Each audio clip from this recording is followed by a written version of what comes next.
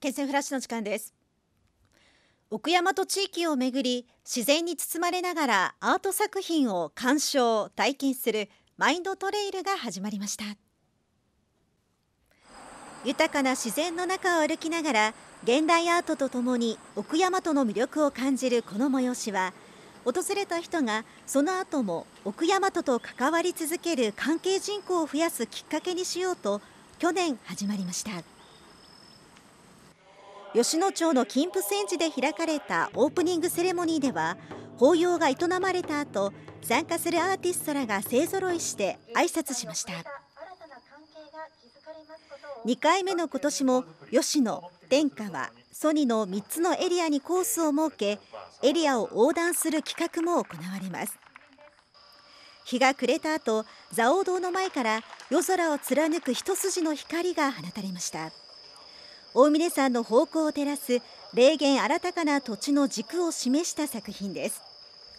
この催しは11月28日まで開かれています。宇田市の宇田アニマルパークで大学生が提案した新メニューの試食会が開かれました。宇田産の牛肉や宇田金ごぼうが使われ照り焼きソースの香りが食欲をそそる宇田盛りバーガーと宇田産のブルーベリージャムと吉野本くずを使った口当たりの良い宇田ベリーベリープリン。いずれも近畿大学の学生が市内の生産者などに直接交渉して材料を仕入れました。この取り組みは県と近畿大学の間で結ばれた連携事業の一環で裏の魅力が再発見できる食材で新しい名物を作ろうと学生たちが開発した意欲的なメニューです。試食会では宇田市の金剛市長をはじめ県の南部東部振興館や宇田アニマルパーク振興室長らが味わい美味しさの笑顔が広がりました。2つの新しいメニューは今後開かれるイベントで販売される予定です。ではお知らせです。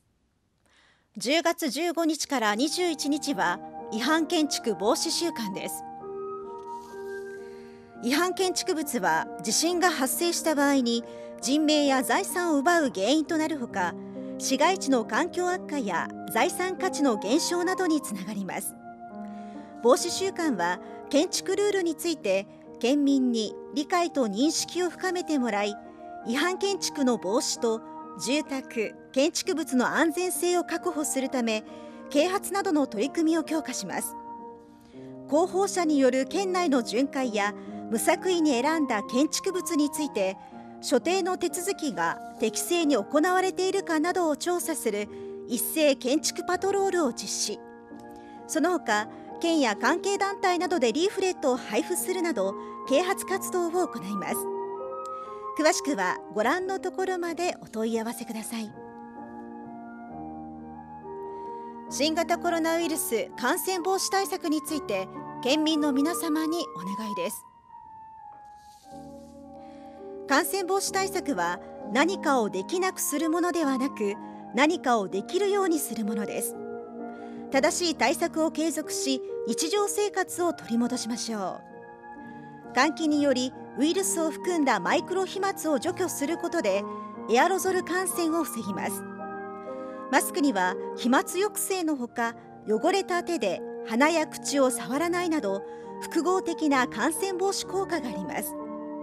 特に不織布マスクは有効とされています。デルタ株は少量のウイルスでも感染することから消毒によって物品ドアノブなどを介して感染することを防ぎます。ワクチンの発症予防効果は100%ではなくまたワクチンを接種した方から他人への感染をどの程度予防できるかもまだ分かっていません。感染防止対策を継続しましょう。以上県政フラッシュをお伝えしました。